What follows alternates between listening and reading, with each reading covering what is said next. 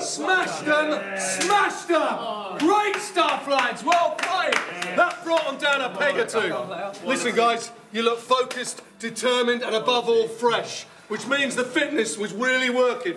Well done, Martin. More of the same in the next matches, and the bonuses are definitely going to kick in. Well done, lads.